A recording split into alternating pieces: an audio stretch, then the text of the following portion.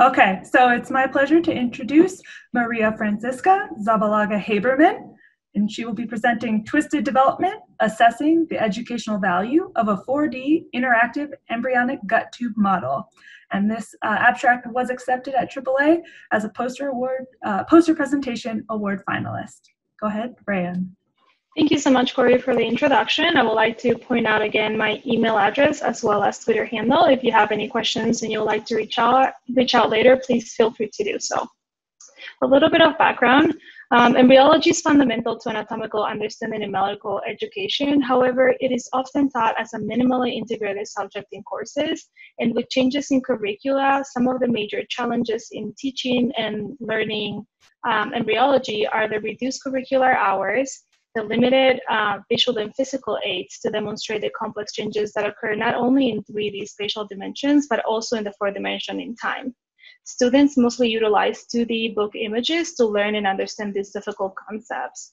Studies have shown that 3D, hands-on, and 4D resources enhance learning outcomes and engagement.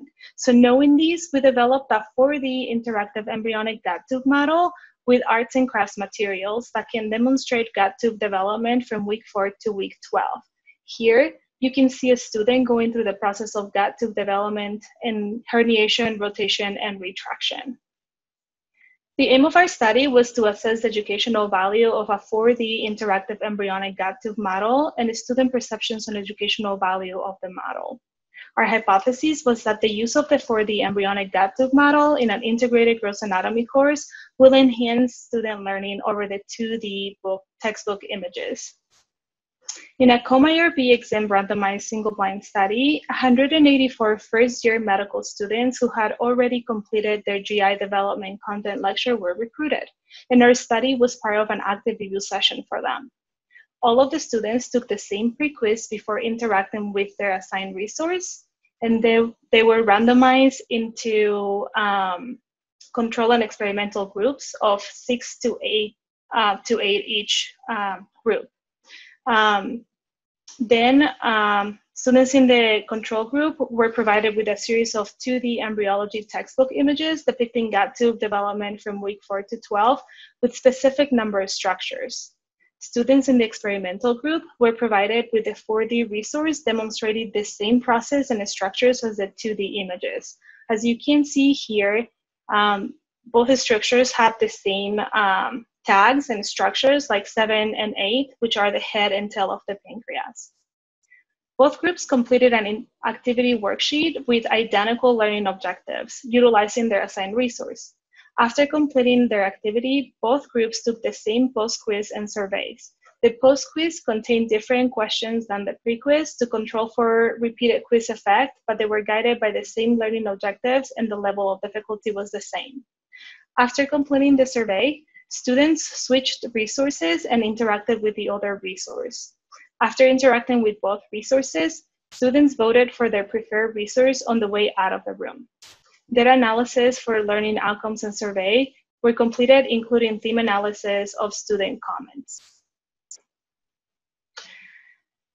A total of 156 datasets were uh, completed datasets were um, collected with consent of the students, as the students had the option of um, removing their data from the study. Our learning outcomes showed that both control and experimental post-quiz performance improved significantly after interaction with the assigned resource, with an effect size of 0.27. The percent change in correct answers from pre-quiz to post-quiz between both groups was not significantly different, suggesting that learning occurred regardless of the resource type that was utilized. In terms of perceived engagement and educational value of the assigned resource, both groups rated their resource high with no significant difference between the groups. Additional analysis showed that students felt that their resource was helpful for understanding three main concepts in adult anatomy the development of the digestive organs, the development of the mesenteries, and the anatomic rotation of pancreas, bile duct, and duodenum. Even though we saw a high trends on the experimental group, there was no significant difference um, between the groups or items, suggesting that both resources were equally helpful to understand these concepts.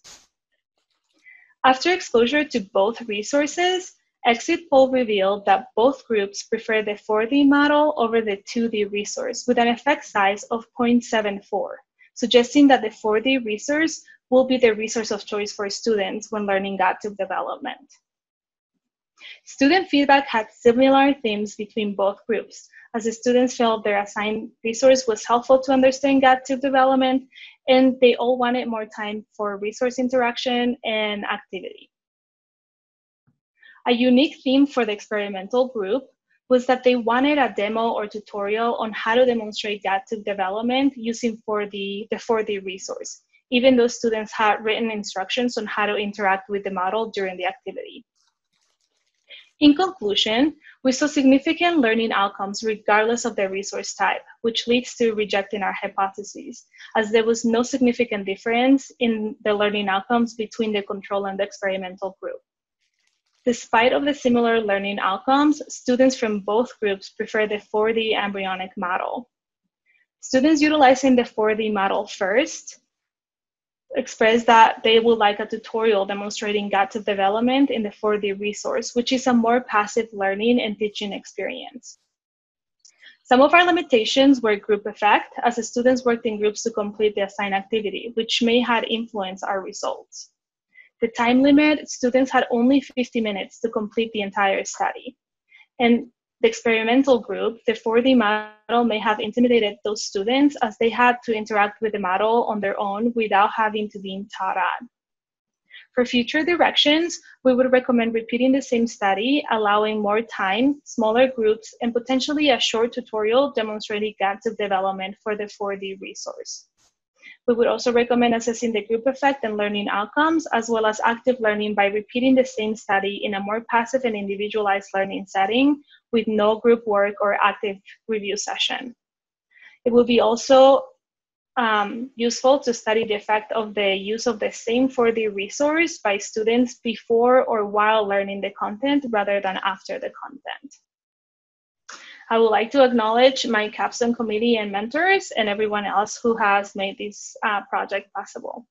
Thank you for listening and for joining us in our um, virtual symposium. Any questions? Great. Thank you, Fran. Um, if there are any questions, please submit them here. I have one um, chat box submission that says, thanks for an interesting presentation.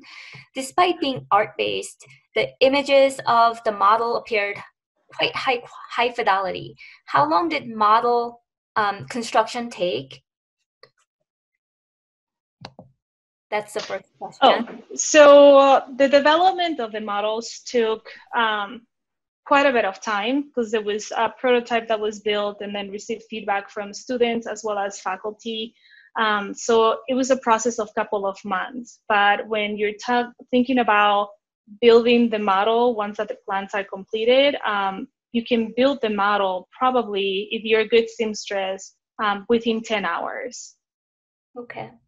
Follow up question to that is Are there or will there any protocols and directions for the model design that'll be made widely available? So we are currently working on the copyright um, for the model, and our hope is that we can actually develop the protocol and make it available for um, as an educational resource for others to utilize. And so we're in the process of working on that right now. Great, thank you. And the last bit of questions, um, let me see, um, was um, sorry, I'm dealing with. Did the students use the same amount of time for each resource? I wonder if, despite the same learning outcomes, one was more efficient in communicating information than other than another. So the students in the study both had the same amount of time. So they had 15 minutes to interact with their with their assigned resource um, on the first part of the study. At the end, they all interacted with both, with the 4D and the 2D. Um, so part of, um, you know, despite the learning outcomes, I think it's hard to tell if one was more effective than the other as the results on learning outcomes were similar for both. Um, which is why we would recommend doing this study again in a more passive learning because literature um, supports that you know group study and active review sessions enhance learning. And so these was tested during an active review session with groups. And so i think we would have a better idea if one is better than the other um, doing it passively potentially. Great. Well that is all the time we have for fran and that concludes um, the virtual symposium presentations. Thank you so much, everyone who stuck with us throughout this um, trial, if you will. Before you go, if you could please complete this poll, which I'm activating right now.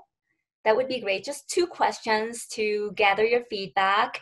Um, and also, the speakers, if you could please activate your videos so that the audience can see you.